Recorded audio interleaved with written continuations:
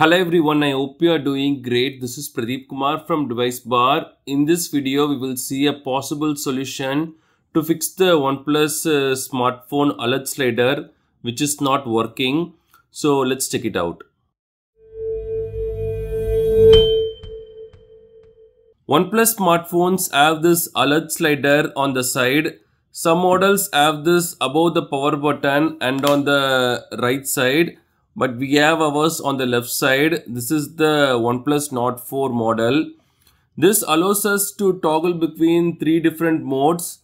We have ring at the bottom, vibrate in the middle and silent at the top. If you can see this, ring, vibrate, silent uh, comes really handy when we are in a theater or in a meeting. We can quickly toggle this to get our uh, preferred preset but sometimes this alert slider may not work properly. It will go to vibrate, it will go to silent, but not the ring mode or in any other variation. And we won't be able to access the ringtone option too. It will be uh, disabled because of that.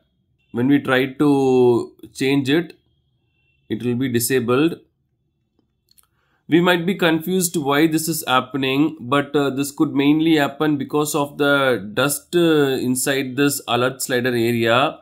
It's quite easy to get dust here, maybe through the dirt from the smartphone cover or when we keep it somewhere where we have dust around. So all we have to do is take a sharp pin, a toothpick or even a SIM card ejector pin and slowly clean the dust inside this area. Uh, we may not be able to use a cotton earbuds in this because this area is a bit small but we can use a sharp toothpick and we can uh, try to clear the dust inside this. We can do it like this. Uh, do this slowly and clear the dust residing in this area that's all we have to do. We can also use a bit of air oil or water, but we can first try without using any of this. Just clear the dust and try to do this again.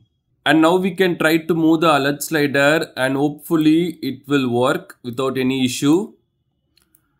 And uh, regarding the ringtone volume uh, disabled or grayed out, we can move the slider now and we will get the uh, ringtone uh, volume option. We can increase and decrease that.